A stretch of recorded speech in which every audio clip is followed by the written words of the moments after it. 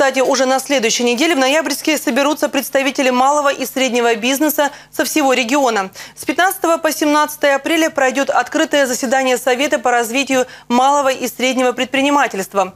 Впервые оно пройдет в открытом формате с участием членов правительства автономного округа, руководителей исполнительных органов власти, глав муниципальных образований, общественных организаций и СМИ. Всего к участию в мероприятии планируется привлечь около 200 представителей бизнес-сообщества. Основной темой заседания Совета станет эффективность реализации мер поддержки малого и среднего предпринимательства в регионе.